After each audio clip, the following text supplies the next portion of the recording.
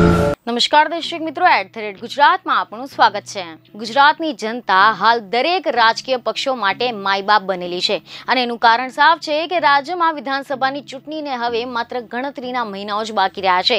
તેથી ગુજરાતમાં દરેક પક્ષના રાષ્ટ્રીય નેતાઓ આવી રહ્યા છે અને ગુજરાતની જનતાને લોભામણી જાહેરાતો આપીને આકર્ષવાનો પ્રયાસ કરી રહ્યા છે.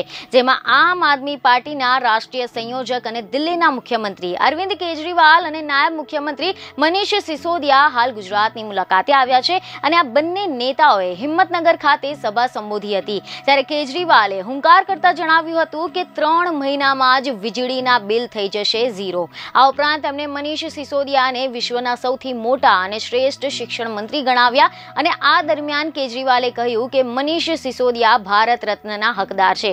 અને હવે જો આના વિશે આપણે વધુ વિગતવાર વાત કરીએ તો મીડિયા અહેવાલો મુજબ દિલ્હીના સીએમ અરવિંદ કેજરીવાલ અને ડેપ્યુટી સીએમ મનીષ સિસોદિયાએ હિંમતનગરમાં સભા સંબોધી હતી, જેમાં અરવિંદ કેજરીવાલે જણાવ્યું હતું કે ગજબનો ઉત્સાહ છે તમારા લોકોમાં. લોકોને જોઈને એવું લાગી રહ્યું છે કે ગુજરાત હવે બદલાવ માંગે છે. આ ધર્મ યુદ્ધ છે, આજે આ લોકો પાસે મોટી સેના છે, તો તમારી પાસે ભગવાન છે. આજે અમારી પાસે જનતાનો સાથ છે. આજે અમે દિલ્હીમાં જે કામ કર્યું છે, તે પંચોતેર વર્ષમાં નથી થયું. ગુજરાતમાં દિલ્હી જેવા સરકારી હોસ્પિટલ, સ્કૂલ જોઈએ છે ને? તમારે ગુજરાતમાં વીજળીના બિલ ઝીરો જોઈએ છે કે નહીં? અમારી સરકાર બનશે તો ત્રણ મહિનામાં જ વીજળીના બિલ ઝીરો કરી દઈશું.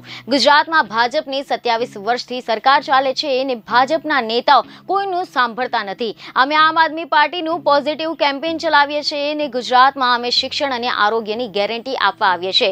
તો વળી બીજી તરફ મીડિયા ખબરો મુજબ એવું પણ સામે આવ્યું છે કે નાયબ મુખ્યમંત્રી મનીષ સિસોદિયાએ જણાવ્યું કે વાત માત્ર ગુજરાતમાં આમ આદમી પાર્ટીની સરકારની નથી. વાત એ છે કે ગુજરાતનો દરેક વાલી ઈચ્છે છે કે એમને પણ અમારા બાળકો માટે શાનદાર શિક્ષણ જોઈએ છે. આજે દિલ્હીની સરકારી શાળામાં પ્રાઇવેટ શાળાને ટક્કર આપી રહી છે એટલે જ ચાર લાખથી વધુ બાળકો પ્રાઇવેટ સ્કૂલ છોડીને સરકારી શાળામાં આવ્યા છે. ગુજરાતમાં અમારી સરકાર લાવો ને એક જ વર્ષમાં એક લાખ શિક્ષકોની ભરતી કરીશું. વિદ્યા સહાયકોની તમામ સમસ્યાઓનો પણ ઉકેલ લાવીશું. તેમજ દરેક સરકારી હોસ્પિટલને અમે એસી ખાનગી હોસ્પિટલ જેવી બનાવીશું. કોઈનો અકસ્માત થાય તો તેને મફતમાં સારવાર કરાવીશું. આ ઉપરાંત ગુજરાતમાં સ્ટેટ ટ્રાન્સપોર્ટના કર્મચારીઓના પગાર ઓછા છે. અમે એલાન કરીએ છીએ કે અમારી સરકાર બનશે તો તેમની તમામ માંગો પૂરી કરી દઈશું. દરેક ડ્રાઈવર અને કંડક્ટરને કહો કે આમ આદમીનો પ્રચાર કરે.